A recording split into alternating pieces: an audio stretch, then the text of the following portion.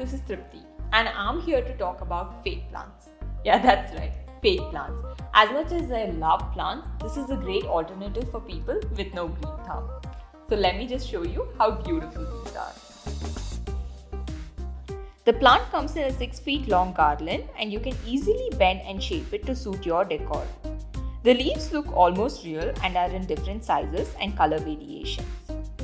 Perfect for wedding and other special occasions. These garlands are going to last forever and are extremely low maintenance. For a quick cleanup, all you have to do is soak them in soap water for 5 minutes and that is it. They are fresh and ready to use. Drape them around the doorways or wrap them around railings. There are multiple ways you can use them.